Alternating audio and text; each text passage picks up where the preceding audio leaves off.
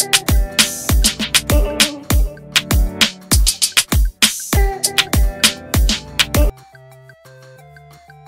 ักรจันเสียบแทนพิงกี้ในเรือนชดานางกดดันไม่ได้เล่นละครนานในที่สุดต้องตัดสินใจเปลี่ยนตัวนักแสดงนำเรื่อง เรือนชดานางจากพิงกี้สาวิกาที่กำลังถูกดำเนินโดคีล่าสุดต่ายนัทแพนลียวนิช ผู้จัดละครเรื่องเรือนชดานางจัดพิธีบวงสรวงพร้อมเปิดตัวจักรจันทร์อคัมสิริสุวรรณสุขที่มารับบทแทนพิงกี้หลังจบพิธีทั้งคู่ได้เปิดใจว่าตาย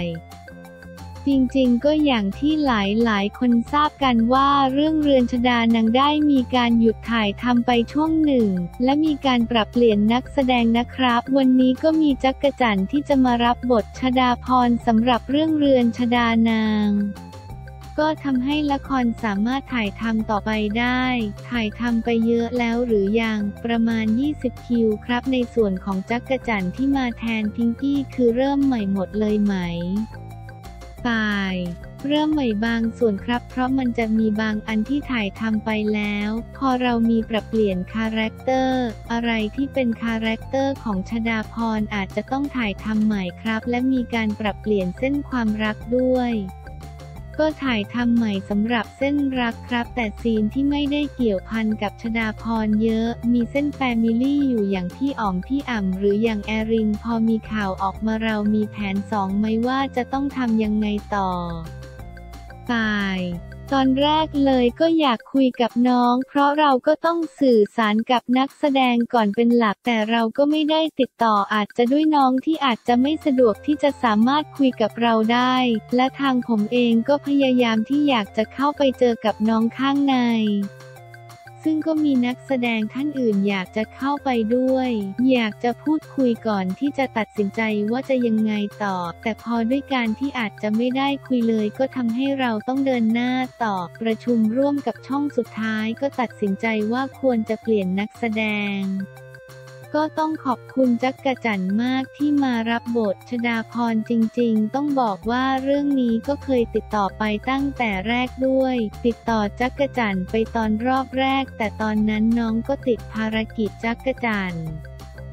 ไปผ่าหัวเข่ามาตอนนั้นยังไม่หายดีค่ะ ก็รู้สึกว่ายังลงบันไดแบบก้าวทิศอยู่เลยขายังใช้งานได้ไม่เต็มที่จะมาเป็นผีแล้วหลอกคนก็เกรงใจกอง หัวเราะ พอมาตอนนี้ก็รู้สึกว่าเราพร้อมแล้ว สุขภาพโอเคแล้วจังหวะได้พอดี พอมารับบทตอนนี้เรากดดันไหมจักกะจัน ถ้าถามว่ากดดันไหมจันไม่ได้โฟกัสตรงนั้น ส่วนใหญ่เวลาจะกดดันก็จะกดดันละครรีเมคที่เคยมีชื่อเสียงในอดีตมาก่อน อันนี้ก็พยายามจะไม่กดดัน ถ้าจะกดดันก็จะกดดันที่ตัวเองห่างละครไปเกือบสองปี เวลากลับมาเล่นก็รู้สึกว่าเรายังจะทำได้ไหม จะทำได้ดีไหม และนักแสดงบางคนเราก็ไม่เคยร่วมงานด้วยเลย แต่เราก็อยากร่วมงานด้วย จะตื่นเต้นตรงนี้มากกว่าตอนที่ติดต่อไปครั้งแรกเราพร้อมเล่นไหม จักกะจัน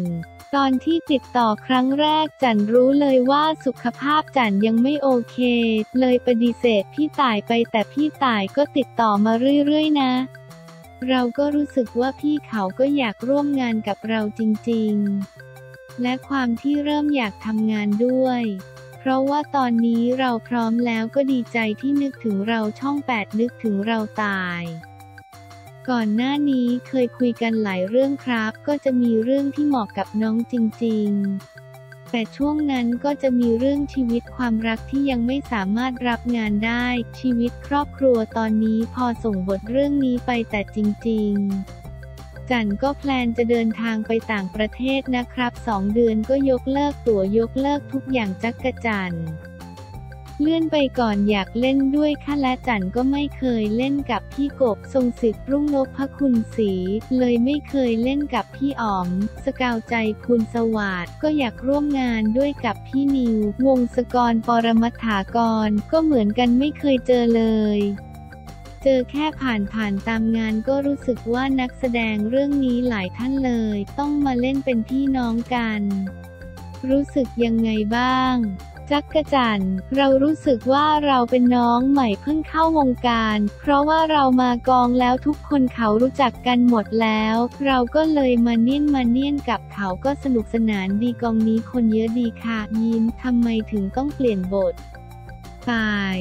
จริงๆ ต้องแจ้งว่าตอนก่อนที่จะตัดสินใจมาถ่ายใหม่ก็มีการเอาที่ถ่ายทำทั้งหมดมาเรียงและร้อยตามกัน ตอนแรกก็ดู solution อยู่เราก็เห็นว่ามีบางส่วนที่น่าจะขยี้เพิ่มนะ 2 คือในบทเดิมรวมตัวกันเยอะมากครับ ทุก scene อยู่กัน 17 คน ซึ่งมันมีความยากต่อการถ่ายเยอะมาก อย่างฉากโต๊ะอาหารรับ insert ทุกคนคิวนักแสดงทุกคนอย่างพี่อ๋อมพี่กบพี่พิมพ์พี่ฝนพี่อ่ำคือคิวทองหมดทุกคนยากมาก ก็เลยต้องมีการปรับบทให้การรวมตัวน้อยลงเฉพาะ scene ที่สำคัญเท่านั้นเป็น scene การตายงานศพที่ family ต้องเข้ามา 20 คิวที่ถ่ายไปแล้วประมาณกี่เปอร์เซ็นต์ ตาย 30%ครับ แต่ตอนที่มีข่าวพิงกี้เรายังไม่มี plan จะเปลี่ยนตัวใช่ไหมตาย จริงๆ เราอยากรู้ก่อนว่าเรื่องราวที่เกิดขึ้นกับทางน้องมันจะยังไง และอยากจะให้ทางเรารอไหมมีอะไรที่เรา support ได้บ้างหรือเปล่า ส่วนใหญ่จะเป็นแบบนั้นครับ แจ้งนักแสดงก่อนไหมว่าจะมีการเปลี่ยนตัวตาย ต้องแจ้งว่าก่อนหน้านี้อาจจะไม่ได้แจ้งนักแสดงเลยครับ เพิ่งจะมาแจ้งช่วง 2-3 อาทิตย์นี้ เพราะประชุมกับช่องประมาณ 2 เดือนครับ มีการเอาของเดิมมาตัดกันประชุมกันดูหาแนวทาง และในกรณีที่เปลี่ยนคนน่าจะเป็นใคร และมีการปรับบทเพื่อจะให้เข้ากับ character ใหม่ด้วย และคุยเรื่องโครงเรื่องว่าถ่ายต่อเดือนหน้า ก็ค่อยๆ แจ้งทีละคนได้ ยิ้มคือตอนนี้ต้องแจ้งว่าจากเส้นเรื่อง นักแสดงแต่ละคนได้รับผลกระทบไม่เหมือนกันสมมุติเส้นหลักต้องบอกว่าใหม่ 100%แต่สมมุติพี่อ๋อมหรือแอรินก็ยังมีบางอันที่ยังใช้ได้ แต่จั๊กจั่นไม่ต้องเวิร์กช็อปใช่ไหม ตาย ไม่ต้องแล้วครับ แต่เดี๋ยวของจั่นอาจจะต้องมีไปเรียนรำแต่รอให้เข้าที่เรื่องบทเรื่อง character ให้เรียบร้อยก่อน เรื่อง location ยากมากตายต้องบอกว่าของเดิมที่ถ่ายอย่างบ้านหลักเราห่างกันประมาณ 4-5 โลห้องรับแขกที่ 1 ห้องทานข้าวอีกที่ 1 ห้องนอนอีกที่ 1 5 โลครับ คือพากันไปทีนี้พอเกิดเรื่องก็อาจจะเหลือประมาณ 2 โลครับ หัวเราะ ตอนนี้ก็พยายามรวบทุกอย่างให้มันเกิดขึ้นใน 1 กิโลครับ พยายามเดินทางในการทำงานให้เร็วขึ้น ปิดกล้องเมื่อไหร่ตายมีนาคมครับจักกะจันจันก็เต็มที่ค่ะก็มีพี่กบทรงสิทธิ์แซวว่าจันอย่าเพิ่งท้องนะพี่ไม่อยากถ่ายอีกรอบ หัวเราะงบบานปลายไหม เพราะต้องมาถ่ายใหม่ตาย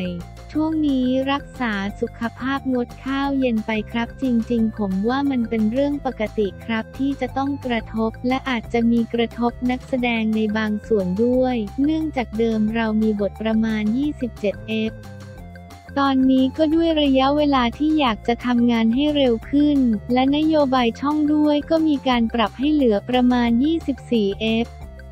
ถามว่ากระทบไหมก็กระทบอยู่แล้วครับ ตอนนี้ถ่ายกันแน่นเลยใช่ไหม ตาย ตอนนี้รอบทออยู่ครับวันนี้ก็จะประชุมบทเพราะจะมีการดึงอันเดิมมาใช้อยู่บ้าง เพราะถ้าใหม่หมดเลยอาจจะทำงานไม่ทัน ก็จะมีการใช้อันเดิมมาเพื่อปฏิติดปะต่อและเล่าเรียงเพื่อเดินหน้าอย่างรวดเร็วมากยิ่งขึ้น ราะต้องแจ้งว่ามีต่างประเทศที่เขาซื้อไปแล้วด้วย จริง ๆ ตอนแรกเหมือนต้องออนแอร์ในต่างประเทศประมาณเดือนธันวาคม ซึ่งตอนนี้ก็ขอมีการผลัดเปลี่ยนเป็นเดือนมีนาคม ก็อาจจะต้องรีบเร่งในการจัดส่ง ความน่ากลัวของผีจะเป็นยังไง ตาย คือจริงๆ เรื่องนี้ผีเป็นส่วนหนึ่ง แต่จะเป็นเรื่องของการตามหาว่าจริงๆ แล้วชดาพรตาย เพราะอะไรและใครเป็นคนฆ่าและในขณะตามหามันไม่ได้เจอ แต่เรื่องของฆาตกรว่าใครเป็นคนฆ่า แต่มันเจอความเลวของคนในบ้าน พี่ทุกคนที่เราเคยเห็นว่าเป็นอีกอย่าง พอไปรื้อหรือไปสืบค้นก็ดันไปเจอว่าแต่ละคนมันมีอีกมิติหนึ่งที่เขาไม่ได้เป็นคนแบบนั้น อันนี้คือความสนุกที่เห็นว่านักแสดงเยอะแต่ละคนคือจะมีเส้นของตัวเอง แต่จะต้องติดตามไปกับหนูนาที่เขาจะต้องเป็นคนไปตามและไปเปิดเรื่องราวแต่ละอัน และกับนิวที่เขาจะเป็นเหมือนผู้สืบสวนสอบสวนและไปเจอเรื่องต่างๆครับ ส่วนจักรจันทร์ก็จะเป็นผู้นำทางต้องสิงร่างต้องมาบอกว่าไปตามเรื่องนี้สิทางนี้ก็จะเป็นผู้จัดการเยอะจักรจันทร์ ละครเรื่องนี้สนุกแน่นอนค่ะเป็นละครที่จันตัดสินใจกลับมารับในรอบสองปีรับรองไม่ผิดหวังค่ะยิ้ม